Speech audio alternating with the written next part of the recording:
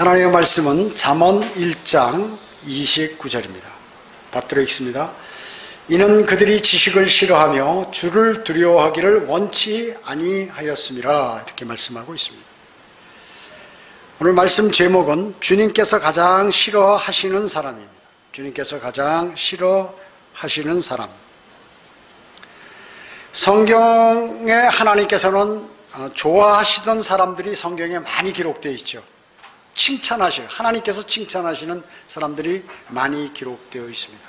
그 중에 몇 분을 소개하면 노아가 있죠. 노아 의의 전파자라고 의의 전 120년 동안 아, 하나님께 돌아오라고 말이죠. 그렇게 외쳐도 사람들이 눈 하나 깜빡 안 해요. 조금 있으면 홍수로 세상을 이렇게 심판하신다 하더라도 사람들은 안 믿는 것이에요. 그래서 구원받은 사람이 노아 가족 8명 뿐이에요. 그래서 어, 주님의 눈에 의를 그는 찾았다. 그 사람들이 전부 죄악으로 이렇게 물들어 있을 때 그 사람은 어, 노아는 의인이라고 말했고 당대 완전한 사람이라고 하나님께서 말씀하셨어요. 그뿐만 아니라 하나님과 동행했던 어, 사람이라고 말씀하고 계시죠. 또 다니엘 있죠. 예, 다니엘을 칭찬하셨습니다. 다니엘은 사자굴에서 살아났습니다. 하루에 세 번 예루살렘을 향하여 기도 어, 했는데 그것으로 인하여 사자굴 속에 던져졌지만 살아났습니다. 그는 어, 바빌론의 느부갓네살 벨사살 그리고 메대 다리오 왕 그리고 페르시아의 코레스 왕 네 명의 왕이 있을 때 제2인자로 왕 밑에서 근무를 했던 사람이고 그는 기도의 사람이었습니다. 또가 있죠. 욥 있죠. 욥은 하나님께서 온전하고 정직하며 하나님을 두려워하고 악을 피하는 사람이라고 칭찬 하셨습니다. 또 다윗이 있습니다. 다윗. 하나님께서 주님의 마음에 맞는 사람이라고 사무엘상 13장 14절과 사도행전 13장 22절에서 말씀하고 계세요. 그래서 시편 89편 20절에 보면 내가 내 종 다윗을 찾아 내 거룩한 기름으로 그에게 기름 부었도다. 다윗을 내 종이라고 얘기해요. 내 종이라고. 그 외에도 이사야, 에스겔, 예레미야, 사도 바울, 사도 요한 등등 성경에는 많은 그런 하나님께서 칭찬하시는 사람들이 이름이 기록되어 있습니다. 반면에 주님께서 가장 싫어하시는 사람들도 성경에 이름이 기록되어 있죠. 그런데 어떤 사람을 그러면 개인적인 이름보다는 어떤 사람을 어, 싫어하시는가 몇 가지 그 중에 몇 가지를 제가 말씀드리고자 하는 것입니다. 첫째는 진리를 거부하는 사람을 싫어하십니다. 진리를 거부하는 사람. 세상에 수많은 사람들이 있죠. 영원한 생명인 하나님의 말씀인 그 진리의 복음을 받아들이면 영원한 생명을 얻는데 그것을 급기야 거부하는 것이에요. 그렇게 쉬운 좋은 내용, 자신에게 좋은 것인데도 거부하는 것입니다.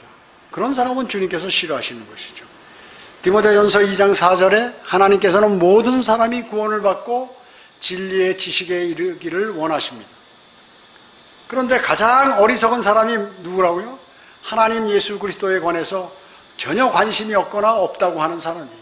하늘나라 지옥도 없다고 그러고 지 멋대로 이 세상을 사는 사람이죠.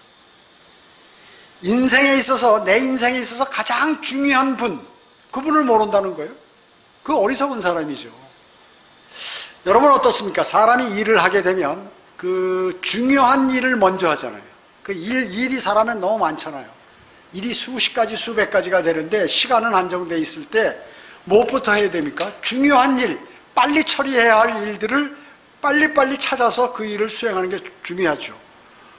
어, 저도 한국 사람이기 때문에 빨리빨리 소리를 잘하는데 아무튼 그 일이 주어지면은 중요한 일부터 먼저 해야 돼요. 쓸데없는 일을 하느라고 시간 다 보내면 중요한 일을 못하게 되죠. 그렇기 때문에 가장 중요한 분을 모른다는 건 이건 정말 어리석은 사람입니다. 그리고 가장 중요한 내가 가야 할 장소, 그 하늘나라를 모른다는 것은 참 어리석은 사람이에요. 그 사람은 모두 어떻게 되나요?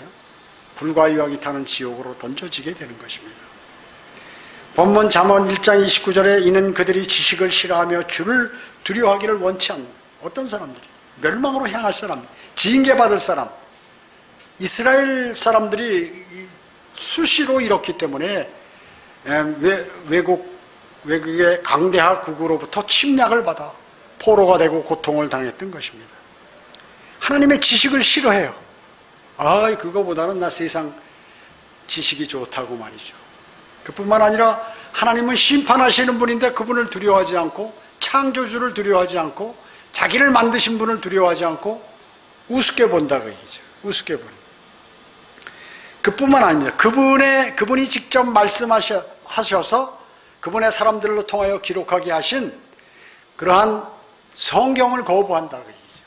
성경을 비난하고 한국에는 한글 킹제임 성경을 비난하고 거부하고 이런다 그 얘기죠. 인간적인 방법, 인간 학자들이 주장하는 그 주장을 그대로 인용해서 어, 다른 성경을 거부하는 수많은 사람, 이러한 진리를 거부하는 사람 주님이 어떻게 해요? 상대를 안 해요. 상대를 안 해. 그리고 이 사람은 어떻게 해요? 불과 유황이 타는 곳으로 던져지게 되는 것입니다. 불과 유황이 타는. 두 번째는 진리를 알면서 다른 행동을 하는 사람을 싫어합니다. 진리를 알고 있는데 움직이는 건 다르게 움직인다 그 얘기죠. 그 아는 게 아니죠. 다른 지식으로 자 신이 받아들인 게 아니죠. 시편 50편 17절에 내가 교훈을 싫어하고 내 말을 내 위에 던지는도다. 하나님의 말씀의 그 교훈을 그 하나님의 말씀을 교훈으로 받아들이지 않고 내 말을 내 위에다 탁 두고서 내 말을 신뢰하고 있다고 얘기죠. 이게 말이죠. 아, 나는 안 그래. 그렇지만 그 이런 사람이 너무 많은 거예요. 너무 많은. 그리스도인 간에도 그리스도인 사이에도 너무나 많습니다. 하나님의 말씀보다는 내 말을 내 위에 두는 사람이 더 많다는 것이죠. 하나님의 말씀을 위에 두어야죠. 한글 킹제임 성경을 안다고 하면서 유튜브 설교도 듣고 그리고 어, 뭐 다 하는 것이에요. 뭐 주석 써고 뭐고 다 사서 보는 사람들 어마어마하게 많이 있습니다. 어마어마하게 많이 있어요. 그리고 성경대로 믿는 사람들의 설교도 다 빠지지 않고 들어요. 그런데 바른 진리를 알면서도 다른 행동을 하고 있다. 진리를 알면서 바른 성경이 아닌 그러한 교회로 나가는 거예요. 다 알면서, 보면서. 그뿐만 아니에요. 그것을 다 알면서도 그것이 행동으로 옮겨지지 않는 거예요. 여러분, 성경대로 믿 믿지 않는 사람들이 무슨 한글 킹제임 성경 보고 유튜브 성경대로 믿는 사람 설교 듣는다고 그 사람이 나가서 거리 설교하고 구령할 줄 아는 사람 봤어요? 한 명도 없어요. 단 한 명도 없어요. 한 명도 없어요. 여기서 혹시 있다가 나간 사람 가운데 혹시나 있는지 모르지만 그 외에 스스로 알아서 그렇게 하는 사람은 단 한 명도 없어요. 왜 그럴까요? 그게 바로 중요하다 그 얘기죠. 하나님께서 그걸 원하지 않는다 그 얘기죠. 진리를 알면서 다른 행동을 하는 사람이기 때문에 그 사람에 가서는 하나님께서 무슨 관장을 하시거나 그 사람에게 능력을 주시거나 그 사람을 인도하거나 이러지 않으시는 거예요. 그걸 아셔야 돼요. 또 배교하고 분리해서 독립했다고 하는 그러한 사람들, 그 사람들은 성경대로 믿는 사람이 아니에요. 자기들이 아무리 뭐 유튜브에다 성경대로 믿는 사람들 갖다 붙이고 나는 한글 킹제임 성경으로 설교한다 하더라도 하나님께서 그런 거 진리를 아는 사람이 그런 행동을 안 하기 때문에 안 받아주시는 것이에요. 그래서 나중에 다 그냥 희지부지 희지부지 되는 거예요. 보기에는 막강하게 세력이 강해지고 커지는 것 같지만 나중에 어떻게 돼? 다 분열해 버리는 것이에요. 그리고 거기서 이상한 사람들만 양산하게 되는 것이에요. 이상한 사람들만 양산. 흠정력 쓰는 사람 교회에서 무슨 뭐 진리로 바로 서서 성경대로 믿는 행동하는 사람 봤어요? 없어요. 그런 적이 없어요. 마찬가지로 배교에서 나간 사람들이 그렇게 한 1년 지나고도 그것이 유지되는 사람 봤어요? 없어요. 없어요. 그렇게, 인, 그렇게 하는 척 하는 거지 없다 그 얘기죠. 왜 영적인 문제이기 때문에 정확하게 갈라져요. 이런 것들이요. 정확하게 갈라지는 것입니다. 왜냐하면 그 사람들은 마귀에게 점이 된 사람들이기 때문에 그게 안 되는 것이에요. 억지로 근데 막 하는데 그래서 부작용이 일어나는 것이에요. 억지로 하기 때문에. 디모데 후서 3장 7절에 항상 배우나 진리의 지식에는 결코 이룰 수 없다고 주님은 말씀하고 계세요. 성결치 못하고 적당한 믿음을 내가 갖고 있다. 이거 자신은 손해보거나 영적 전쟁을 치를 그 상황을 그런 상황을 피하면서 믿음 생활하고 야 나는 참 현명한 사람이야 요리조리 빠지고 절대 하나님께서 그 사람을 가장 싫어하는 사람의 대열에 내가 서 있는 것이 그러면 안 돼 그리스도인. 부족해도 주님 앞으로 나오고 부족해도 주님께서 하신 말씀을 따라서 행동하고 해야 되는 것이죠. 뭐 사람은 주님은 얼마나 능력이 많으신데 인간 알기를 뭐 벌레같이 보는 오 벌레야. 그렇게 이렇게 말씀하시잖아요. 그런데 뭐 대단한 줄 알고 아 나는 많이 몰라 나는 많이 알아. 이렇게 해가지고 되는 게 아니라 그 얘기죠 나는 하나님께 충성하는 사람이야. 하나님을 가장 신뢰하는 사람이야. 의미가 없어요 그런 게. 말해서 되는 것도 아니고 어 뭐 어, 가식적인 행동해서 되는 것도 아니다 그 얘기죠. 셋째로 자기의 유익을 위해서 남을 끌어들이거나 참견하는 사람. 이게 가장 싫어하는 거예요. 자기의 유익을 위해서 남을 끌어들이거나 쓸데없는 일에 참견하는 그러한 사람들 있잖아요. 제도권 교회 목사들이 자기를 위해서 그냥 뭐 막 사람들을 모이게 교회만 많이 모이게 해서 뭐 해가지고 실적 영업 실적 올리기 위해서 말이죠. 무슨 뭐 여기가 회사예요? 영업 실적 올리게 그렇게 많이 하는 것이에요. 이단들이 왜요? 그 영업, 가장 강조하는 게 영업 실적 이단들. 이단들이 영업 실적이. 그거 안 하면 다 어, 며칠 사이에 몇 달 사이에 몇 명 안 모이고 몇 년 사이에 교회 짓지 못하고 그러면 전부 무슨 구원파 뭐 박옥수라든지 무슨 뭐 이런 데 있잖아요. 어, 뭐 신천지 이런 데. 그러니까 목숨 걸고 사람들 끌어다 놓는 거예요. 실적 오르기 때문에. 어느 지파가 얼마큼 컸느냐, 그의 실적이 아니냐. 결산을 하냐, 결산. 교회 크게 짓는 것과 사람 숫자 모이는 것. 이거 갖고 이제 결산을 하는 거예요. 그렇게 한다고 되나요? 자기 유익을 위해서 사람들을, 그거 제일 싫어하는 거야, 사람이. 사람들. 출세하기 위해 자신의 고집과 자존심을 위해서 막 하는 이런 사람들. 그러니까 정광훈이 같은 사람들 바로 그런 거거든. 그런 애들이 그런 애들이에요. 자기의 정치적인 신념을 이루기 위해서 그 어리석은 사람들 다 불러 모아가지고 막 자기 하는 대로 다 따르게 하도록. 그 진림은 관계없죠. 비진리를 가지고 그렇게 목사라는 칭호를 가지고 하기 때문에 그런 거예요. 하나님께서 그런 사람 가만 안 놔둬요. 그런 사람들. 자신을 숨기고 타인의 잘못을 지적하는 이런 것들. 그러니까 그 모든 집단이나 이런 모임 같은 데는 그런 게 있어요. 자기가 그 모든 일이 다 하는 것처럼 이렇게 행사하는 그런 사람들이 많이 있다고요. 예. 그 어리석은 목회자들 가운데도 그런 사람들이 많이 있어요. 자신이 뭐 전국구 목회자처럼 막 활동하고 막 하나님께 충성하는 것처럼 자신만 신실하고 다른 사람은 다 나쁜 사람처럼 이렇게 생각하는. 저희가 여기 설교에서 다른 그 개신교들 이렇게 잘못된 점 얘기하는 거하고는 다 다른 거예요, 완전히. 비진리를에 관해서 지적한 그러한 차원하고는 완전히 틀린 거라 그 얘기죠. 단편적인 그러한 영적 지식이나 이런 것을 가지고 하는 그러한 사람들이 많이 있어요. 그런 사람들은 목회자 못해요. 그런 사람 조금 있으면 다 하차하는 사람들. 네.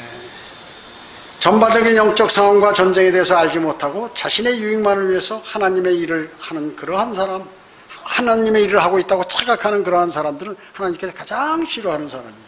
가장 싫어하는 사람이에요. 네. 어떤 사람은 자신의 교회도 제대로 관장하지 못하면서 남의 교회 막 참견하는 그런 사람들 있잖아요. 그 교회는 어떻네, 그 사람 뭐 어떻네 하고 말이죠. 이런 사람들. 그런 사람들이, 그 전부 이 나가 있는 사람들이 그런 사람들이거든요. 자신은 똑바로 못하면서 다른 사람 막 지적하면서 누구는 막 성경적이지 않네 하면서 자기 자신이 행동이 그러면서 성경적이면, 비성경적이면서 성경적으로 하지 않는다고 착각하는 그러한 사람들이 많이 있어요. 그런 사람은 뭐예요? 성장 과정이 의심스러운 거예요. 영적인 성장 과정. 예, 세상적인 성장 과정이 아니라 영적인 성장 과정이 반드시 문제가 있다. 영적인 성장을 정상적으로 탁탁탁탁 수행하고 이렇게 하는 사람들은 이게 견고해요. 주 예수 그리스도의 기초 위에 자기의 지식을 이렇게 쌓은 사람들은 견고하다 그 얘기죠. 그렇지 않고 자신의 목적을 달성하거나 유익을 위해서 무엇을 하나님 일을 한다고 이렇게 하는 사람은 금방 표시가 나죠. 나중에 무너지죠 그런 것들이요. 넷째로 거짓말하는 사람이 거짓말하는 사람. 아, 거짓말은 거짓말의 아비가 사탄이기 때문에 그 자식들은 전부 거짓말을 입에서 어, 거짓말을 하는 것입니다. 시편 119편 163절에 나는 거짓말을 미워하고 몹시 싫어하나 주의 법은 사랑하나이다. 너무 멋있잖아요, 다윗. 나는 거짓말을 미워하고 몹시 싫어하지만 주님의 말씀은 내가 사랑한다. 여러분도 이렇게 그대로 해야 돼. 그대로 하나님의 말씀대로 말이죠. 습관적인 그 거짓말 하는 사람들 있죠. 습관적인 거. 이거 이런 버릇이 있으면 빨리 고쳐야 돼. 그리고 약속을 지키지 않는 거예요. 약속을 지키. 약속을 안 지키면 부득이하게 못 지키면 내가 못 지킨다고 말을 해야 되는데 그냥 넘어가면서 그냥 이게 다 거짓말이 되는 거죠. 안 지키면 나중에. 보세요. 사람의 약속을 안 지키는 사람이 하나님의 약속을 지키나요? 지킬 수 없습니다. 절대 지킬 수 없어요. 예. 다섯째, 성경대로 믿는 사람이라 하면서 성경적인 믿음이 없는 사람. 자신이 성경적인 사람이라면 성경적인 믿음이 없어요. 잠언 6장 16절로 19절에 보면 이 여섯 가지를 주께서 싫어하시며 정령 그에게 가증한 것이 일곱이니 뭐냐 하면 첫째는 교만한 눈과 두 번째는 거짓말하는 혀 셋째는 무제한 피를 흘리는 손과 넷째는 악한 계획들을 꾸미는 마음과 다섯째는 악으로 달려가는데 빠른 발과 여섯째 거짓말을 거짓을 말하는 거짓 증인과 거짓 증인을 얘기하는 것이에요. 일곱 번째 형제 간의 불화를 일으키는 자니라. 이런 사람은 어떻게? 주님께서 가증하게 여기고 가장 싫어하는 사람이라고 아주 명시하고 있어요. 여기에 내가 속하면 안 돼. 여기에 내가 속하면 안 되는 것입니다. 생활하면서 진정한 그리스도인의 삶이 무엇인지 하나하나를 배워야 됩니다. 그리스도인의 삶이 무엇인지를 하나하나 배워가는 것이 필요하다는 것이. 그래서 나는 최소한 주님이 싫어하는 사람은 돼서는 안 되겠죠? 싫어하는 사람이. 내가 주님을 기쁘게 해드리려고 노력은 하지만 그래도 여러 가지 부족해서 못한다면 최소한 싫어하는 사람은 되어서는 안 된다는 거죠. 오히려 주님을 기쁘게 해드리는 그러한 그리스도인이 되어야죠. 그 대단한 것이죠.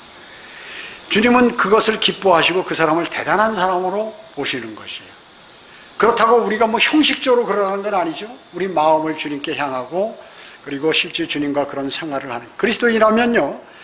주님은 다 아시는 것이에요. 내가 주님하고 잘 가깝게 하고 주님을 사랑하고 하는 그 마음을 다 아십니다. 그래서 여러분 전적으로 하여튼 주님을 첫째로 사랑하셔야 돼. 그것이 멸류관을 받는 방법이에요. 그리고 길이에요, 그게. 첫째로 주님을 사랑하는 게. 그리고 내가 어려움으로부터 이길 수 있어요. 그리고 마귀의 공격으로부터 능히 승리할 수 있는 것이. 그것이 1차적으로 되면 뒤에 것들은 그냥 자동적으로 이렇게 될 수가 있다는 것이. 될 확률이 많은 것이. 물론 다른 것도 많이 있지만 우선 가장 중요한 건 주님을 첫째로 사랑하는 것이 대단히 중요하다는 얘기죠. 그래서 오늘 말씀, 이 본문 말씀은 대단한 것이에요. 그들은 주님의 지식을 싫어해요. 그리고 하나님께서 말씀하시는 맞는 말씀을 자기 멋대로 해석해서 자기에게 자기 입맛대로 생각한다 그 얘기죠. 행동하고 그리고 주님을 두려워하기를 원치 않아요. 그것을 가장 싫어하신다는 사실을 오늘 그것만은 여러분이 마음속에 잊지 마시고 어, 이렇게 주님과 교제를 하시기 바라겠습니다. 기도드립니다. 주님 감사합니다.